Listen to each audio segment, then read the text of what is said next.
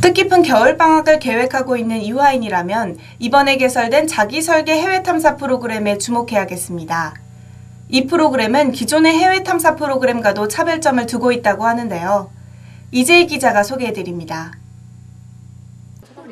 2013년 2학기 겨울방학부터 자기설계 해외 탐사 프로그램이 시작됩니다. 이 프로그램은 학생 지원팀이 여름방학에 진행하는 EGI 해외 탐사 프로그램을 확대한 겁니다. 기존의 EGI 해외 탐사 프로그램과 달리 자기 설계 해외 탐사 프로그램은 학생들이 탐사 프로그램을 직접 설계, 개발하는 등 학생 주도로 이루어집니다. 탐사 주제는 학생들이 자율적으로 정할 수 있습니다. 팀은 전공 제한 없이 재학생 4명으로 구성되며 한 명의 팀장을 정해야 합니다.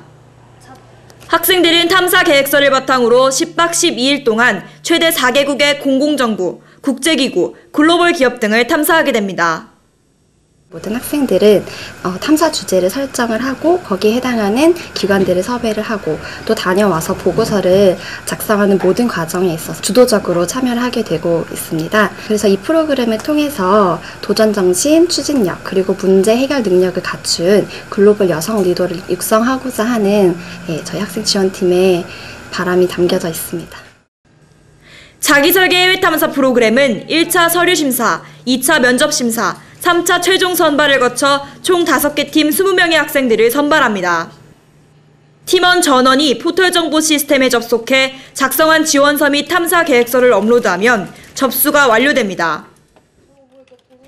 이번 자기설계 해외 탐사 프로그램은 기존의 교내에서 주관한 다른 해외 방문 프로그램에 선발되거나 참가했던 학생에겐 신청 자격이 제한됩니다.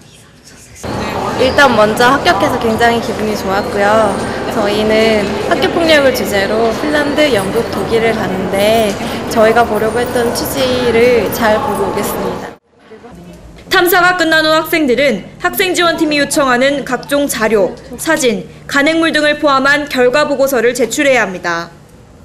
또한 2014학년도 1학기에 진행될 예정인 재학생 대상 탐사 결과 전시 및 보고회에도 참석해야 합니다.